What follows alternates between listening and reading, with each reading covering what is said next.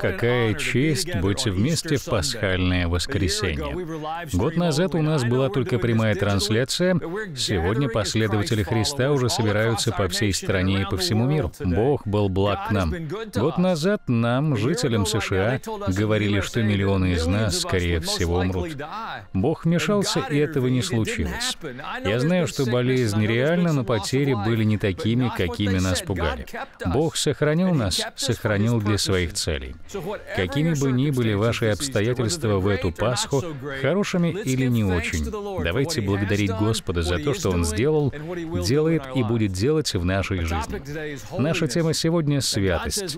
Бог говорит, что ожидает от нас святости. Какая прекрасная тема в канун Пасхи. На кресте Иисус взял на себя наше с вами наказание, чтобы мы взамен обрели все преимущества Его праведности и святости. Благодаря этому у нас с вами есть надежда стать святым народом в глазах Бога. Возьмите свою Библию или планшет, а главное, радуйтесь. Сейчас Пасха, и мы вместе. Приятного просмотра! Хочу показать вам несколько аспектов святости. Это будет лишь краткий обзор тех моментов, которые мы изучали ранее. Первое. Святость проявляется в контексте других атрибутов Бога. Когда вы читаете и размышляете о Боге и о том, кто Он такой, подумайте о святости Бога. В Его атмосфере нет греха, нет болезней, страха. Всего этого нет у Бога. Он святой. Святость — это не что-то сложное и обременительное. Это уникальное приглашение для человека. Мы были сотворены святым Богом, чтобы быть святыми перед Ним, дабы разделить Его святость. Исход 15 глава 11 стих. «Кто, как Ты, Господи, между богами? Кто, как Ты, величествен святостью, досточтим хвалами, Творец чудес?» Есть еще один важный момент. Я призываю вас подумать о нашей ответственности отражать Божью святость. В Писании есть связь между святостью и возможностью. Вы не можете игнорировать святость, не можете заявить, что вас она не касается. Не можете думать, что это задача и ответственность кого-то другого, и при этом ожидать исполнения всего того, что задумал для вас Бог. Вам нужно также решить быть святыми, как вы решили быть здоровыми. В 32 главе Второзакония Бог говорит с Моисеем. Во всей Библии, вплоть до Иисуса, нет никого, кто сравнился бы с Моисеем по силе и глубине лидерских качеств. Он был уникальным образом подготовлен и уникально потерпел неудачу, после чего Бог изменил его предназначение. Моисей — самый потрясающий пример лидера Божьего народа и Божьих целей во всем Писании, вплоть до того времени, как родился Иисус. Послушайте, что Бог говорит Моисею. За то, что вы согрешили против меня среди сынов Израилевых при водах Меривы в Кадесе, пустыне Син, за то, что не явили святости моей среди сынов Израилевых, пред собою ты увидишь землю, а не войдешь туда, в землю, которую я даю сынам Израилевым. Это 51 и 52 стихи. Не знаю, как вы на это смотрите, но меня это поражает и отрезвляет. Бог дал Моисею 10 заповедей и возможность увидеть себя, когда прошел мимо. Человек, призванный Богом у тернового куста, чтобы вывести народ из египетского рабства, проводил столько времени в общении с Богом, что его лицо светилось, отражая Божью святость. Однако в момент гнева и непослушания послушания Моисея, Бог сказал ему, «Ты не смог явить мою святость, так что ты не войдешь в землю обетованную». Я не уверен, что мы отвечаем Богу с тем уважением, к которому призывает нас Писание. Меня это беспокоит. Мы говорим о святости. Она связана со страхом Божьим, уважением и почтением к Богу. Желание чтить Бога должно преобладать над нашими мимолетными эмоциями, повседневными задачами или соблазнами, возникшими на нашем пути, особенно сейчас. Я уверен, что мы пренебрегаем Божьими возможностями в нашей жизни, когда проявляем в вере небрежность. Возможно, вы верите в прощение, но живете как хотите, а затем говорите, «Бог, мне очень жаль, твоего креста достаточно». Я знаю, что ты меня простишь. Если вы убедили себя в этом, тогда позвольте задать вам вопрос. Ваше прощение основано на искупительном труде Иисуса на кресте, а ведь так? Ни на чем больше. Ни на том, что вы примкнули к правильной общине, читаете правильный перевод Библии или сидите в церкви. Наше прощение основано только на искупительном труде Иисуса на кресте. Давайте разовьем эту мысль. Если вы проявляете небрежную веру и считаете, что вам все сойдет с рук, благодаря искупительному труду Иисуса, давайте рассмотрим другой аспект искупления. Я верю, что исцеление связано с искупительным трудом Иисуса. Я верю, что наш Господь — Целитель. Я убеждался в этом много-много раз. Он исцеляет и через врачей, и без врачей. Нахон? Нахон. Это означает «верно». У него много способов принести исцеление своему народу. Небрежная вера скажет, «Я не возьму никакой ответственности за свое благополучие. Я постою в уголке церкви, надеюсь, Бог услышит, когда я попрошу Его меня исцелить». Мы все интуитивно понимаем, что это самонадеянная глупость, и она разрушительна. Бог не обязан отвечать вам, брать столь драгоценную кровь Его Сына, пролитую за нас, и отвечать на наше форменное безразличие к Его призыву к святости. Не нужно относиться к прощению с меньшим уважением, чем к обычному благополучию. Игнорирование нашей ответственности отражать Божью святость повлияет на наши возможности в Царстве Бога. Не относитесь к ним пренебрежительно. Есть третья составляющая святости, о которой нужно сказать. Говоря библейским языком, это ее великолепие и красота. Мы наделяем красоту невероятной ценностью. Мы можем это отрицать, но в нашей культуре так делают. Вы знаете по личному опыту, что многие тратят огромное количество сил, чтобы максимально использовать то, что нам верено. Мы наделяем ценностью и красотой какие-то места. Если вам нравятся горы, вы прилагаете невероятные усилия, чтобы насладиться прекрасными пейзажами. Для вас могут быть ценными долины или пляжи, то же самое с искусством. Наделяя искусство ценностью, вы идете на жертву, чтобы посмотреть и насладиться этим искусством. Природа не исключение. Мы прилагаем невероятные усилия, чтобы насладиться тем, что представляет для нас ценность. В первой книге Паралипоменон, 16 главе 28 стихе сказано «Воздайте Господу племена народов, Воздайте Господу славу и честь. Воздайте Господу славу имени Его. Возьмите дар и идите пред лицо Его. Поклонитесь Господу в благолепии святыни Его. Поклоняйтесь Богу, почитайте Его, осознайте Его невероятную ценность. Приходя к Богу, мы приходим пред лицо святого. Поэтому мы становимся на колени и поднимаем руки. Поэтому мы склоняем головы. Мы убираем все отвлекающие факторы, вынимаем наушники, выключаем звук вместо того, что звучит в нашей жизни, потому что находимся перед лицом святого. Тогда все, что атакует и нападает на нас, должно убежать прочь. Когда мы заявляем, что не хотим поклоняться, нам не нравится поклонение, или мы не хотим проявлять эмоции, мы отстраняемся, отгораживаемся от святого. Но это так прекрасно — быть в атмосфере святого Бога. Далее, четвертое.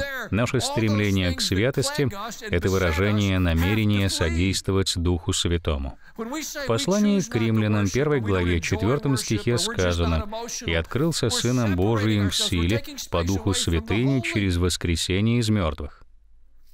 Об Иисусе Христе, Господе нашем, Павел использует очень интересную фразу, чтобы описать дух, который вернул тело Иисуса к жизни. Он пишет по духу святыни. Сила Божия провозгласила Иисуса Сыном Божиим через Его воскресение. Для чего нам нужна святость?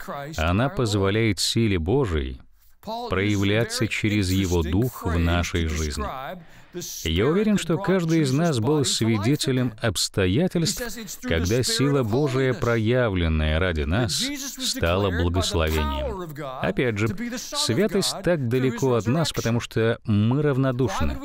Нас не учили, что она важна и ценна. Мы не наделяли ее ценностью — Поэтому мы о ней не задумывались, не размышляли и не собирались ее культивировать. Отчасти потому, что в нас сидело ошибочное представление, что святость ассоциируется со слабостью, пассивностью и даже бедностью. Но это не библейский взгляд. Быть святым не значит обеднеть. Вы ничуть не более святы, когда бедны. Вы не более святы, когда вас притесняют. Это ошибочное представление, и автор этого представления не Бог всемогущий. Когда Он сотворил нас и поместил в Эдемский сад, о котором сказано в первых главах Библии, Он дал нам власть и владычество над всем. В этом нет пассивности, в этом нет и намека на нищету. Самое лучшее представление о святых перед Богом людях, когда они владычествуют над всем творением. Мы потеряли свое положение из-за бунта и греха. Поэтому чем скорее мы вернемся к святости перед лицом святого Бога, тем лучше мы сможем отражать эту картину владычества в нашей жизни. Опять же могу подтвердить это Писанием. Десятая глава Евангелия от Иоанна, 17 и 18 стихи. Тут Иисус говорит, «Потому любит меня Отец, что я отдаю жизнь мою, чтобы опять принять ее». Никто не отнимает ее у меня, но я сам отдаю ее. Имею власть отдать ее, и власть имею опять принять ее. Сию заповедь получил я от Отца моего. А вы наверняка помните, что Иисусу предстояло пережить предательство, арест, затем осуждение и невероятные страдания. Это так. Римский правитель Иудеи стал угрожать Иисусу во время их встречи.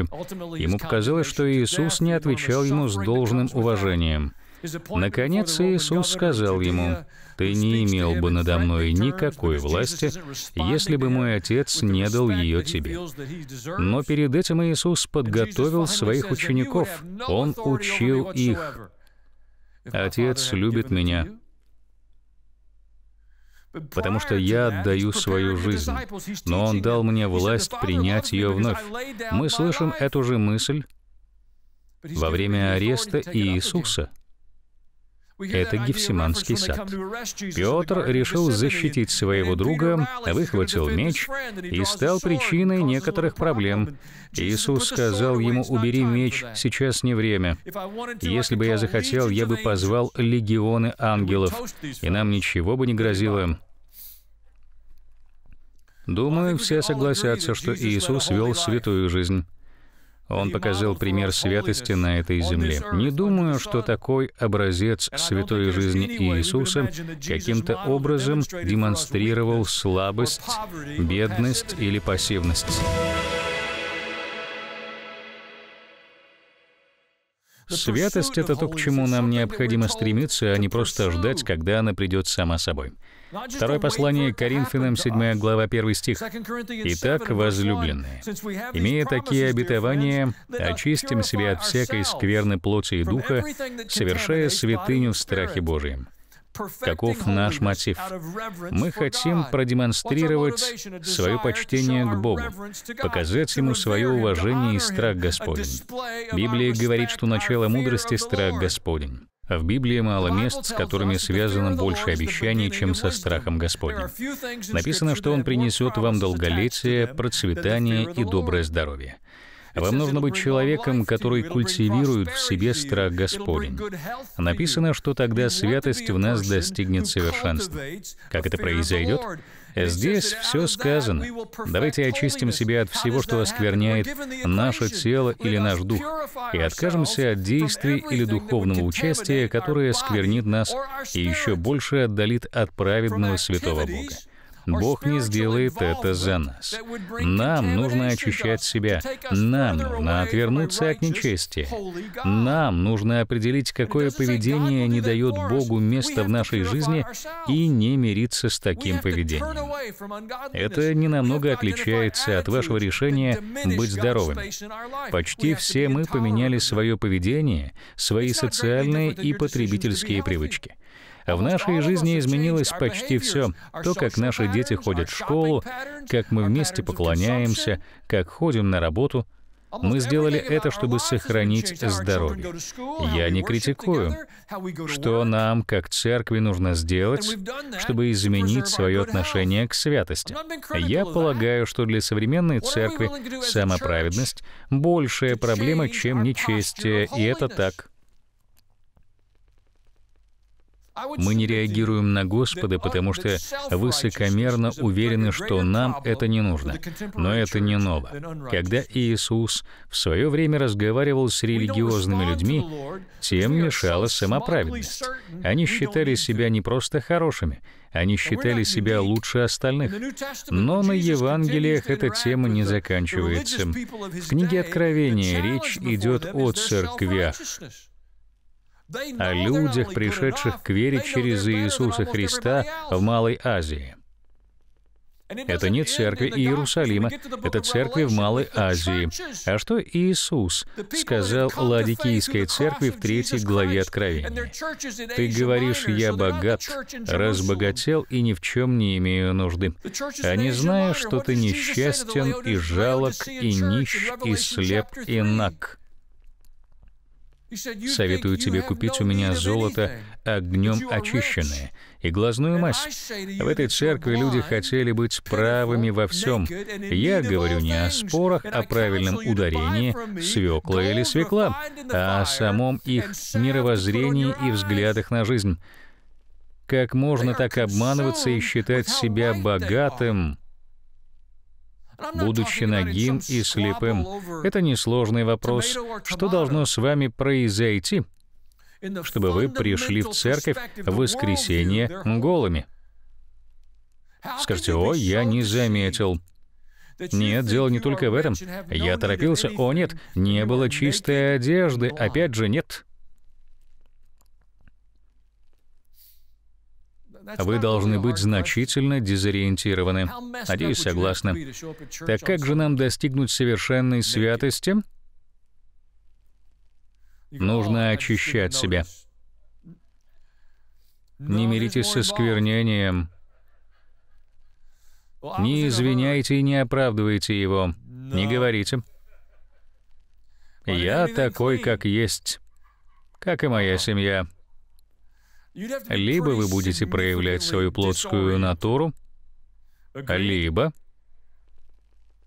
отвергать духовные вещи, которые вас ограничивают. Не связывайтесь с оккультизмом, не связывайтесь ни с какими духовными проявлениями, источником которых является не Дух Святой, будь то движение New Age, восточные религии или какие-то практики — Люди говорят, я в это не верю. Разве вас это защитит? Думаете, если говорить так, я не верю в коронавирус, это что, вас защитит? Как можно относиться к Богу пренебрежительно? Стремитесь к святости. Ну и, наконец, мое последнее наблюдение. Я не закончил, это просто последнее наблюдение. Святость — это не выбор. Это необходимость, и об этом написано в послании к евреям. 12 глава, 14 стих. «Старайтесь иметь мир со всеми, и святость, без которой никто не увидит Господа». Нам сказано стараться делать две вещи. Когда Бог говорит Приложите все усилия. Мне кажется, он говорит, не оставьте камня на камне, не будьте двоедушными, равнодушными. Не делайте только то, что удобно. Не делайте это, если на дворе хорошая погода, а вам просто нечем заняться. Приложите все усилия. Кто это сказал? Это сказал нам всемогущий Бог. Проявите старания на двух фронтах. Будьте в мире со всеми людьми и будьте святы. Если он так сказал, это должно нас отрезвлять. Но одна из этих задач выделена как очень важная. И об этом говорит следующая фраза. «Без святости никто не увидит Господа».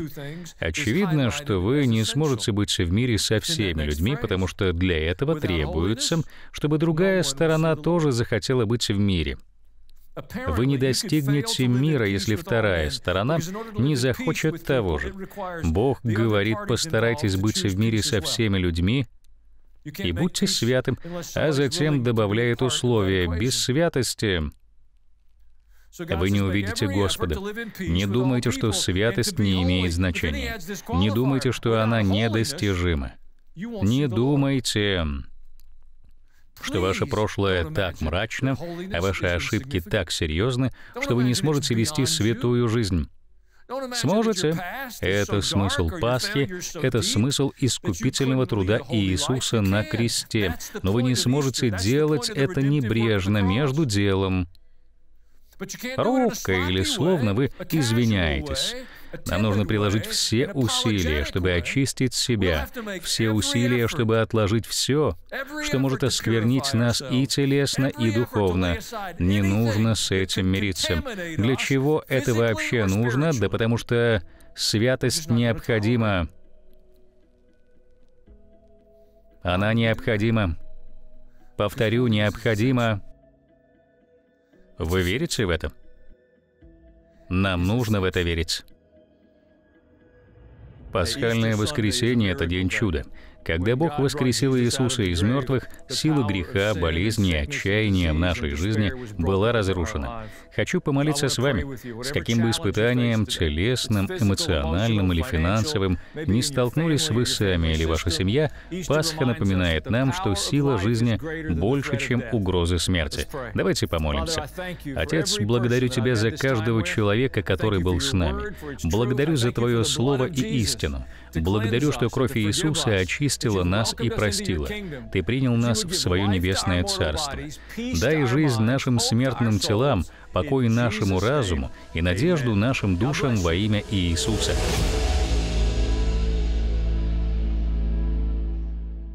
Смотрите каждую неделю нашу программу с пастором Алленом Джексоном, а также заходите на наш веб-сайт, где вы можете найти прекрасные ресурсы, которые помогут вам подняться на новый уровень вашей христианской жизни. Мы также просим вас подумать о том, чтобы поддержать нас в распространении этого послания по всему миру. Это будет возможно только с вашей помощью. Поэтому подумайте о том, чтобы стать нашим партнером. Спасибо, что вы с нами и что являетесь частью этого служения. До скорой встречи в нашей программе с пастором Алланом Джексоном.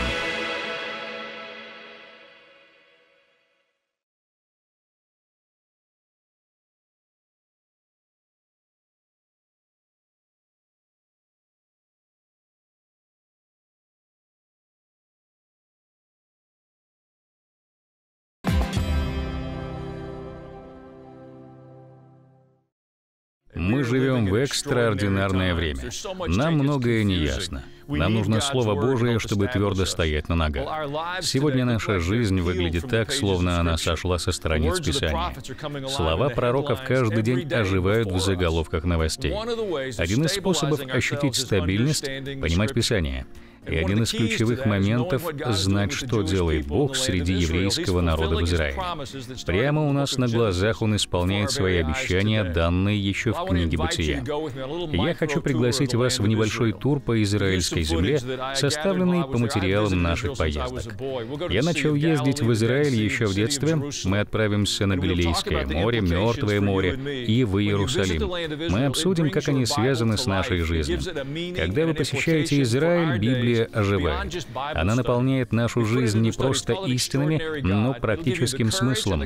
Мы собрали эти материалы в учении «Экстраординарный Бог».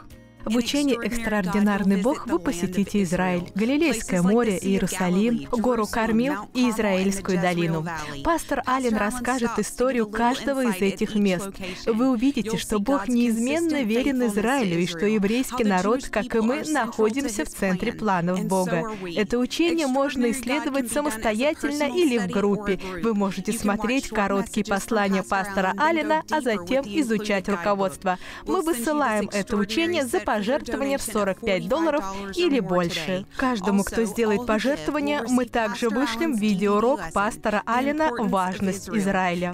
Он объясняет, почему Израиль и еврейский народ так важен для нашей веры. Сделайте запрос на нашем веб-сайте или позвоните по номеру, который вы видите на экране. А сейчас смотрите небольшой отрывок из этого удивительного учения мы совершим тур по Израилю и побываем в моих самых любимых местах. Сегодня мы находимся в центре Иерусалима. Этот город раскинулся вокруг, как красочный гобелен. Иерусалим находится в центре Божьих планов с тех пор, как Авраам повел здесь своего сына на гору Мария. Иерусалим всегда напоминает мне, что Бог заботится о своем народе. Библия не дает пояснения, почему Бог о нас заботится, Однако Иерусалим находится в самом центре проявления его заботы. Этот город станет эпицентром события, описанного в библейском пророчестве. И это возвращение нашего Господа. Он вернется в этот город. И единственная причина тому — Божья забота о нас с вами. Бог верен, и вы можете доверять Ему. Сделайте запрос на нашем веб-сайте или позвоните по номеру, который вы видите на вашем экране.